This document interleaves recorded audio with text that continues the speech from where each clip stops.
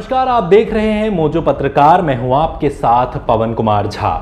महालय अमावस्या पितृपक्ष का आखिरी दिन होता है। हिंदू पंचांग के अनुसार आश्विन माह की अमावस्या को महालय अमावस्या कहते हैं। इसे सर्व पितृ अमावस्या, पितृ विसर्जनी अमावस्या एवं मोक्ष दायनी अमावस्या के नाम से जाना जाता है। इस बार महालय अमावस्या की समाप्ति के बाद शारदीय नवरात्रि आरंभ नहीं हो रहा है।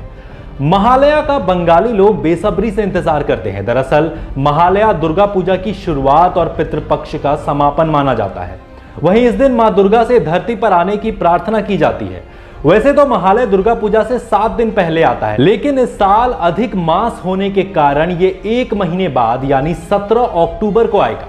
इस तरह का संयोग 19 साल पहले 2001 में बना था, जब पितृपक्ष की समाप्ति के बाद एक महीने बाद नवरात्रि शुरू हुआ था। अधिक मास 18 सितंबर से शुरू हो रहा है, जो 16 अक्टूबर को समाप्त होगा। आइए जानते हैं आखिर क्या है महालय की मान्यता।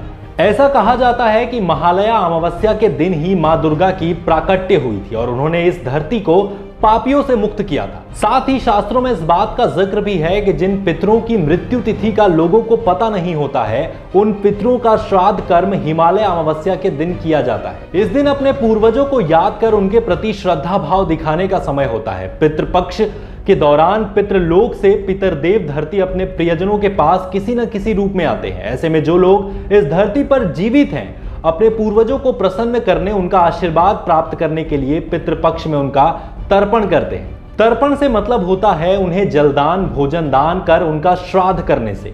मान्यता है कि पितृपक्ष में पितरदेव धरती पर पशु, पक्षी और ब्राह्मणों के रूप में अपने प्रियजनों से मिलने आते हैं। ऐसे में पितरों की आत्मा की तृप्ति के लिए पवित्र नदी में तर्पण, पिंडदान और ब्राह्मणों को भोजन करवाया जाता है। पितृपक्ष में तर्पण करने से पितृ दोष या तमाम तरह के कष्ट दूर होते हैं और महालय अमावस्या के दिन वे अपने लोक पुनः वापस चले जाते हैं।